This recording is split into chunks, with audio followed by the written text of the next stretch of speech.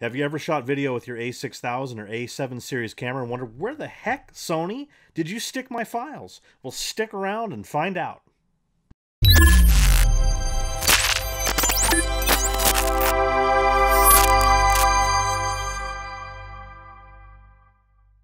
So you've got your NEX series, your A6000, your A7 series cameras. You go to shoot video, you go to access the SD card, and you're like, Sony, where the heck have you stuck my files? Well, I'm going to show you right now.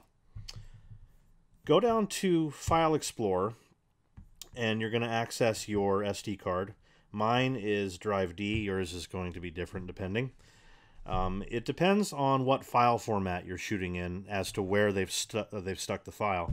So, for instance, for AVC HD, you're going to uh, click into Private, and you're going to click into AVC HD, BDMV, and you're going to click Stream.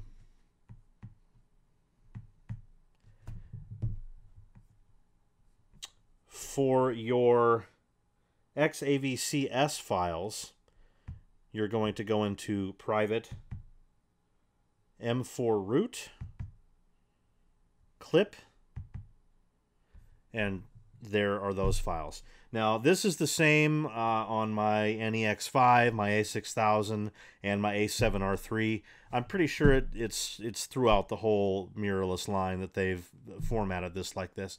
All right, guys, I hope you found this video helpful. If you did, please give it a thumbs up. Please subscribe, and hope you have a great day. And check back next week for another video. Thanks a lot.